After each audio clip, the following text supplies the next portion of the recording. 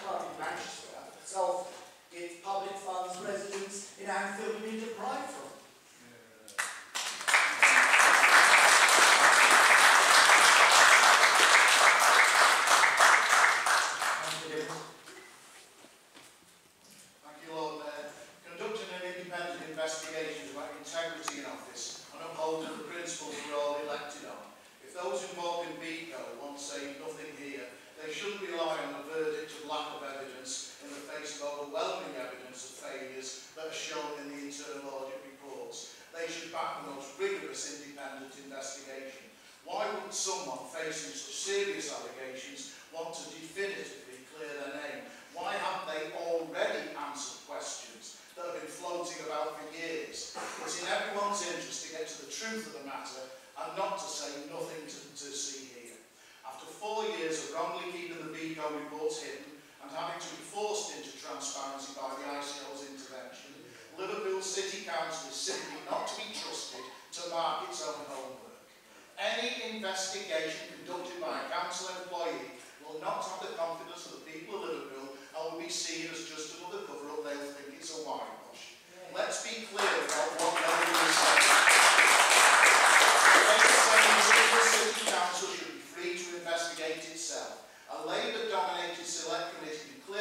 same party of wrongdoing. If the Labour group is saying an independent person can take a look after the investigation, then why on earth not take a look during the investigation? Why this convoluted process that avoids transparency? Two years on, this is administration that's learned nothing from the Collar report. We had reassurances then that there was nothing to see here and a damning report followed. The only way to restore trust is to have a truly independent investigation that goes systematically through the revelations in the internal audit reports and requires the councillors associated with to answer questions. Think what members who vote against our motion would be saying. They would be saying the council does not believe serious questions of governance are raised in these internal audit reports. I beg to differ. They would be saying there should not be independent participation in a full and rigorous inquiry into the company and its relationship to the City Council. That would fly in the face of the questions raised. If we're serious here, we must not settle for an in-house investigation. So many of you on the Labour benches are deeply uncomfortable with what you're being asked to support. I know this from conversations, but I won't embarrass people. You know it is wrong. Please vote for this motion It is essential to the resetting of this organisation as one is open, transparent and honest.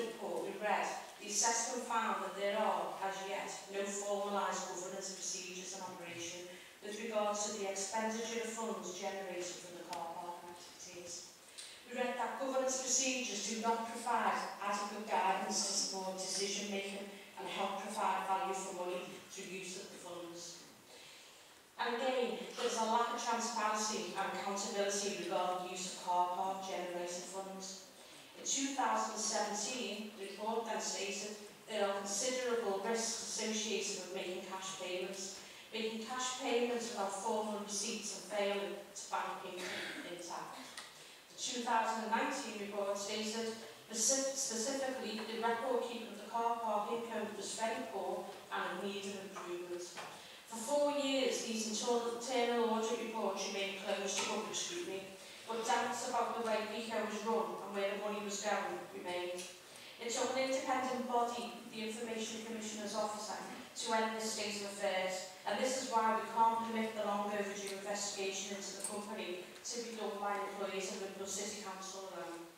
There has to be an independent input so that people in Liverpool can be assured the failures of the past are examined and rectified. Anyone who took part in wrongdoing must be brought to book. The Beco scandal is symbolic of the flaws in this organisation's governance. But a thorough, independent investigation which holds those responsible for failures to account can become a symbol of honesty, openness and transparency. And Logan, I'll just finish on this note. As someone who who's involved on a daily basis with funding and grant funding to support grassroots community groups, it's imperative there's a robust monitoring and data collection process in place to remain open, transparent and accountable. So if an organisation this size, size failing to do this is both unprofessional and shameful.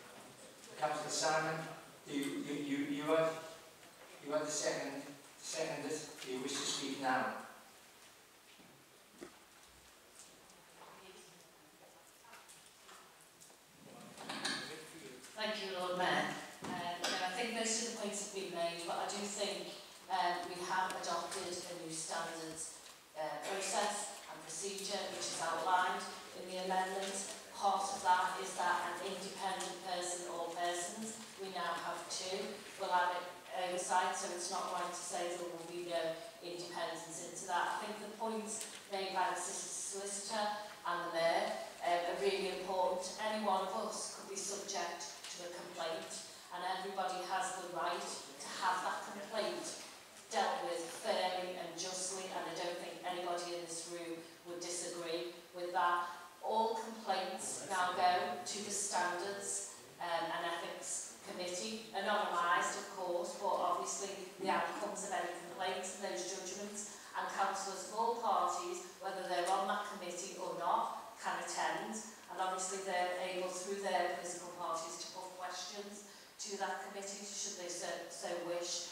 I think in relation to the um, second part of our amendment, it isn't pushing it into court, it's, it's asking for a report in relation to the recommendations from that audit report, what has happened with those recommendations, and for that report to come to a scrutiny panel, again, where people can ask questions around that. So there is no brushing under the carpet.